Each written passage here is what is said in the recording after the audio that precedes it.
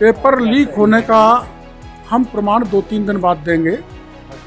इसलिए चेयरमैन साहब आप इनकी जाँच कराओ और आपके आरपीएससी से कोई स्टाफ जाँच में मिलता है तो उसको पुलिस को सुपुर्द करो। और उन्होंने आश्वासन दिया है इस बात का कि हम इसका गंभीरता से जाँच कराएँगे और ऐसी बात निकली तो हम पूरा सहयोग करेंगे पुलिस को और जानकारी देंगे राजस्थान की जनता। लीक होने का कोई कारण बताएगा? तो कारण तो वो क्या बताएँगे? कारण तो मैं बताऊँगा दो तीन दिन बाद।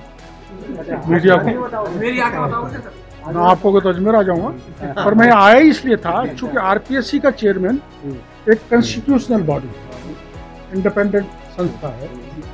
और किसी राजनीतिक नेता को किसी मंत्री या मुख्यमंत्री को इस्तीफा देने से कोई मतलब नहीं है। उसके खुद के ऑफ़िस से पेपर लिया उनके से। इसलिए वो उसकी जाँच कराएँ। और मैं पुलिस के एसपी साहब को भी कह के जाऊँगा कि आप जाँच कराएँ।